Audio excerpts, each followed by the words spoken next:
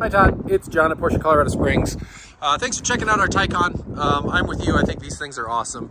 I uh, love the wagon variants as well. The cross turismos are great, kind of that, uh, you get a little better ground clearance, you get the big battery, you get air suspension, a lot of benefits to it, and then the extra luggage space, and I always loved a long hood. Uh, or a long roof. Um, really, really pretty cars. Um, Dolomite silver over the slate gray interior. Um, front, uh, maybe half of the hood and the bumper and stuff have clear mask installed on it. So nice to see some of the paint has been protected there. Do have a couple little rock chips, things like that. Maybe just a little minor one right there a little scratch up at the top of the hood. Nothing too crazy, but I think it's important that you kind of know the condition of the car.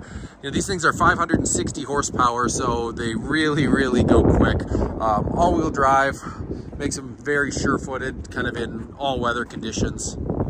Coming around the back, um, you get the uh, the hatch with the, uh, the little wiper back there button down here opens it up. Um, nice space in back as well. Comes with the Porsche Charger right there. Uh, the seats will fold down. I don't think you can quite get a sheet of plywood back here, but for road trips, ski trips, kind of normal around town use, uh, I think these things do great. Uh, back seats show very, very little wear. Everything looks great back here. Um, they call these foot garages. They actually, the battery's in the floor of the car. They don't put the battery where your, your feet go as a passenger to give you a little bit more leg room. Um, up front, a little bit more of a reclined seating position. Love the uh, the aluminum trim. I think they call it the rhombus pattern. Looks really sharp. Um, the first time we had that in was on a Turbo S. It looks great. Um, upgraded Bose stereo, 14-way seats. So that's lumbar support, seat length adjustment, things like that.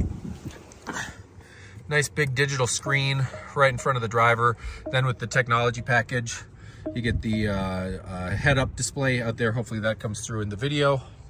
These things are just great. You even got a passenger display for the, uh, uh you know, not quite backseat drivers, but uh, they can keep track, make sure you're not going too fast. Anyway, uh, if there's anything else you want to see, if you have any questions, let me know. Look forward to chatting soon. 612 961 2381 is my cell.